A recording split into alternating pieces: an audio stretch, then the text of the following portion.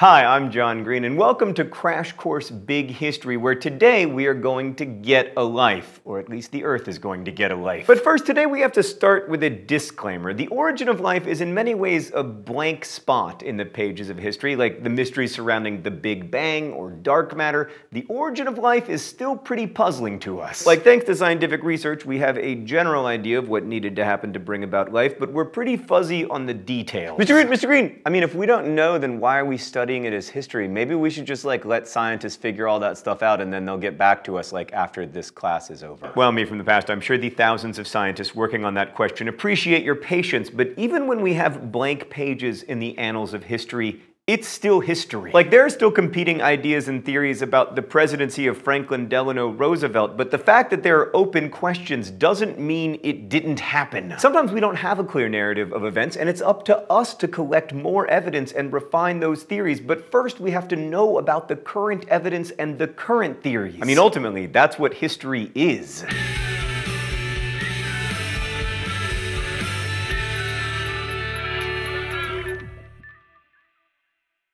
I'm Hank Green.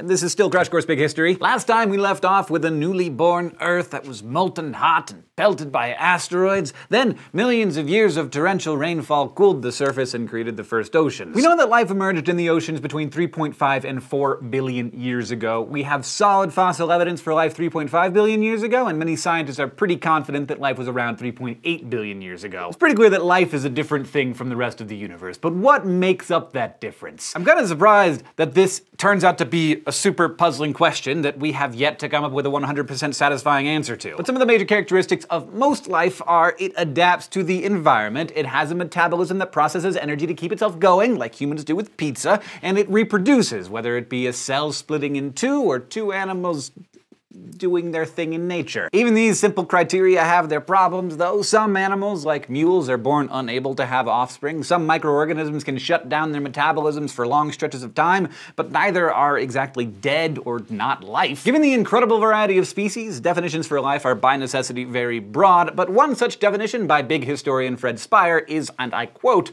a regime that contains a hereditary program for defining and directing molecular mechanisms that actively extract matter and energy from the environment with the aid of which matter and energy are converted into building blocks for its own maintenance and, if possible, reproduction.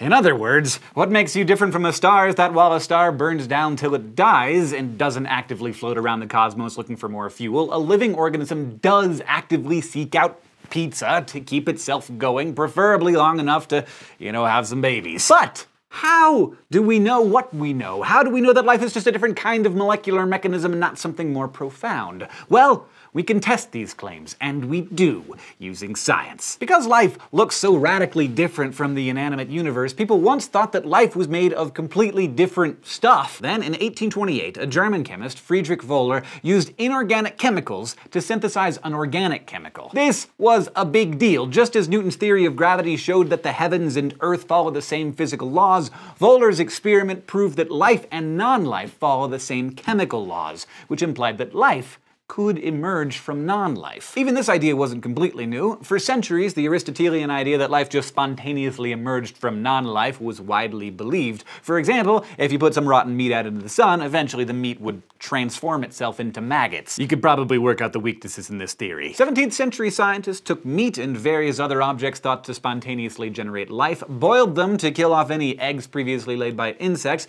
sealed them in jars, and nothing happened. Oh, Aristotle, first you told us that snot was our brain coming out of our noses, and now you made all those nice people waste their steak dinner. This, however, did not rule out some form of life force in the air, some invisible force in the Earth's atmosphere that could enter an object and literally breathe life into it. But spores from plants can also travel in the air, as can microorganisms. So in the mid-19th century, Louis Pasteur boiled some organic broth friendly to life and placed it in a flask with a swan neck to trap plant spores and smaller particles. If a life force was in the air, it could enter freely, while spores and other particles would get trapped in the U-bend. And what happened?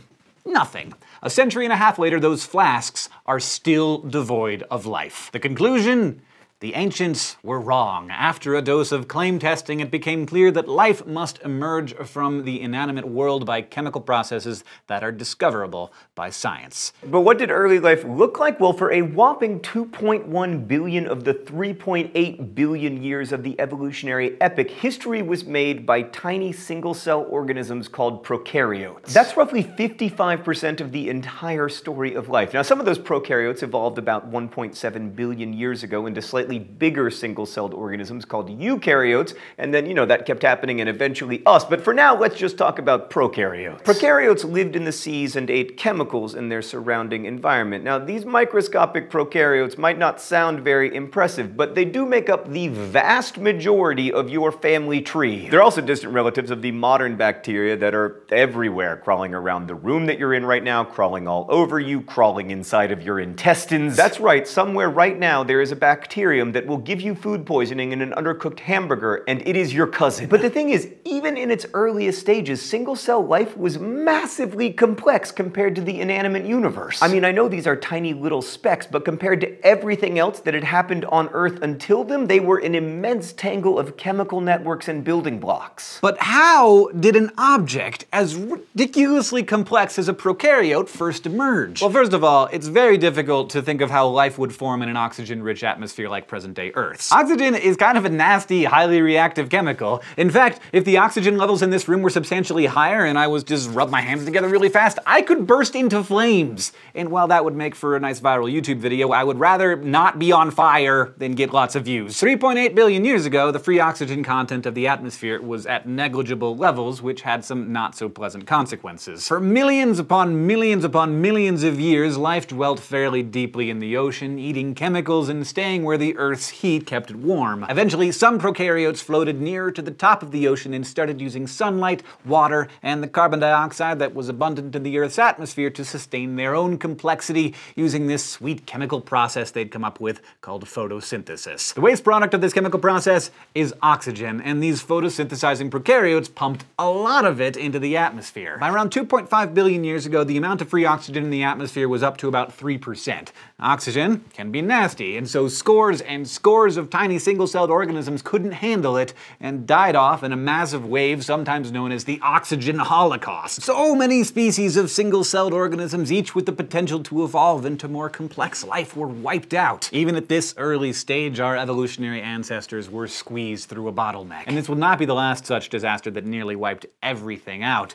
Next time you have a bad day, remember that it is amazing that you are alive at all, much less a member of a self-aware species living at the height of human technological progress. Speaking of ancestors, somewhere between 1.6 and 2 billion years ago, the eukaryotes evolved. And because you, your dog, the chicken you ate last week, and the mushroom you ate the week before all descended from them, they really put the you in eukaryotes. And eukaryotes contained organelles, like cellular organs that enhanced their abilities. About 1.5 billion years ago, eukaryotes invented sex. Up until that point, single-celled organisms split in two or cloned with no need to find a partner for romance and DNA exchange. Sexually reproducing eukaryotes possibly obtained these abilities through cannibalism, just eating each other, which may have led to some accidental exchange of DNA. After that, the evolutionary advantages of sex probably resulted in it catching on. Having a partner means having two sets of genes and thus a wider range of genetic diversity from which evolution can pick and choose. Sex is a huge deal. It enhanced evolution and therefore deserves to be classed as one of the most revolutionary advances in the history of life on Earth, and a huge leap forward in the rise of complexity since the very beginning of the universe. So where did these complex single-celled organisms come from in the first place? Well, Charles Darwin's own hypothesis was that life evolved in some, quote, warm little pond suitable for fostering life. Other scientists postulate that life may have formed from organic chemicals next to the warmth of underwater volcanoes, and still others champion the idea of panspermia, which states that life may have evolved elsewhere in the solar system and then been transported here by an asteroid which seeded the Earth. Like I said, this is a blank spot where many different historical theories are seeking evidence to clarify what happened. It's possible, actually, that this problem could be solved in our lifetimes, which is pretty exciting. Anyway, whatever physical forces were at play, primitive organic chemicals eventually came together into balls with protective membranes. They would have reproduced and proliferated much as life does today, but the earliest blobs of organic chemicals would have reproduced clumsily, inaccurately, with many useful adaptations getting lost. Essentially, these molecular mechanisms were badly programmed. In the 1950s, James Watson, Francis Crick, Maurice Wilkins, and Rosalind Franklin discovered how living cells replicate using DNA or deoxyribonucleic acid. DNA is a double-stranded molecule that contains a list of orders for how it wants a living cell to be constructed.